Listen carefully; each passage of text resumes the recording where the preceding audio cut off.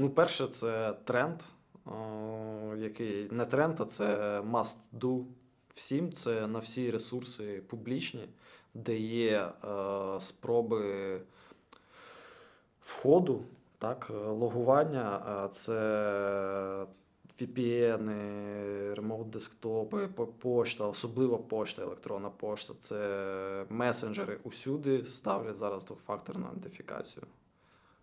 Так, це складно.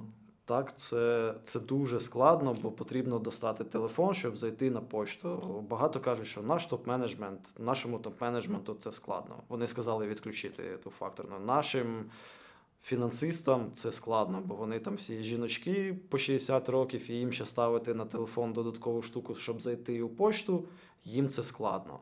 А зазвичай через отаких от людей, у яких двофакторки немає, через них і ламають.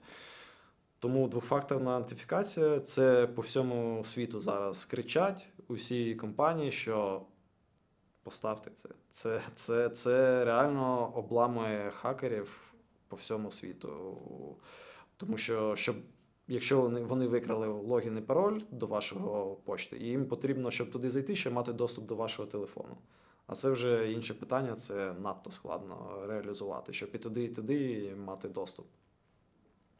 Друге, це у нас на сайті є стаття щодо невідкладних заходів підвищення кібербезпеки, де ми розказуємо, розписуємо щодо аудиту своїх е, публічних інформаційних ресурсів.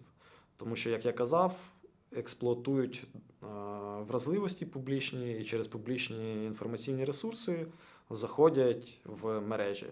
А дослідити їх за допомогою відкритих джерел в інтернеті це дуже легко. Є багато ресурсів, такі як Shodan, Censis, де будь-який адміністратор може подивитися, чи вразливий його ресурс, чи ні.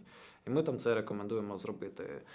Тому що завжди буває таке, що десь завалявся якийсь або мікротік, там, ну або якийсь мережеве обладнання, яке терчить в інтернет з е, стандартним логіном і паролем, або якийсь сайт, який old, він вже не використовується, і його, але він все одно працює, він знаходиться в тій мережі, всі про нього забули, але він є.